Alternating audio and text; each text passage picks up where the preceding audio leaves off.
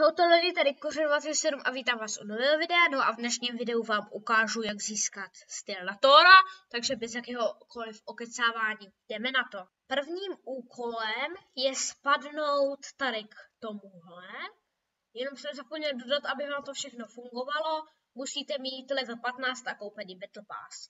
Tady se nám splnila challenge, tohle je první challenge a teďka už to můžeme lívnout. Dalším úkolem je zabít člověka s kladivem Mjolnir, což je to kladivo, které má Thor.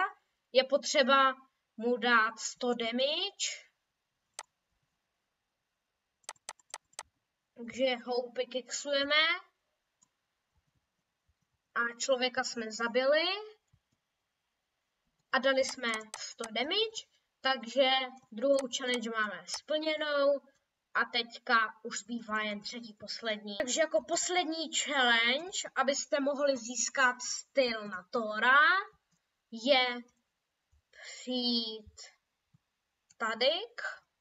Můžeme otevřít třeba tu čestku, ten ammo box, ale bude nám to k ničemu. Ale proč ne, aby jsme dostali XP. Zmáčkneme B a dáme tenhle emote roztočí se kladivo a dostaneme styl.